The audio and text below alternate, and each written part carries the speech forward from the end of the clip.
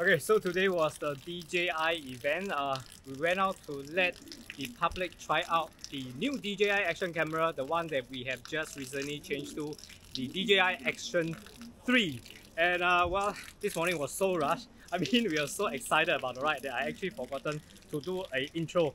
But now, uh, we have already ended the ride in fact, and uh, it was it was an awesome ride. Uh, except towards the end, we even got uh, some shower to wash off the the sweat from our face. But well, it was a very beautiful ride. Well, let's take a look at what happened this morning.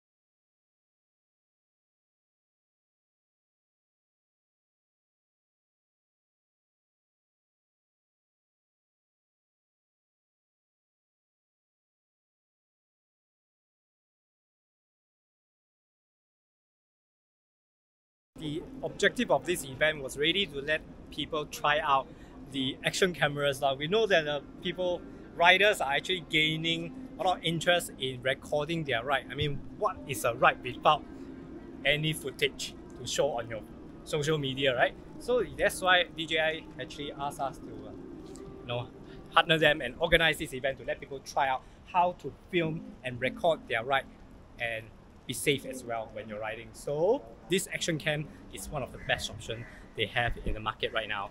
Yeah, and uh, see all the riders have been playing it for today and they're now doing some simple editing to their footage. Oh, by the way, in case you're wondering, today I was riding on the Polygon Mini Velo and it's the Polygon Mixte.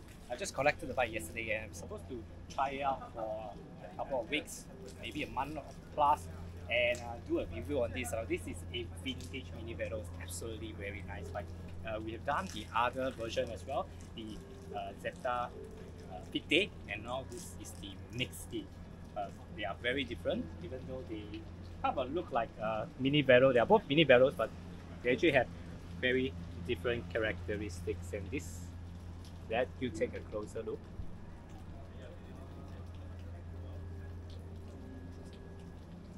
It's very nice ride. Uh, I mean, it was it was perfect for today's ride for me.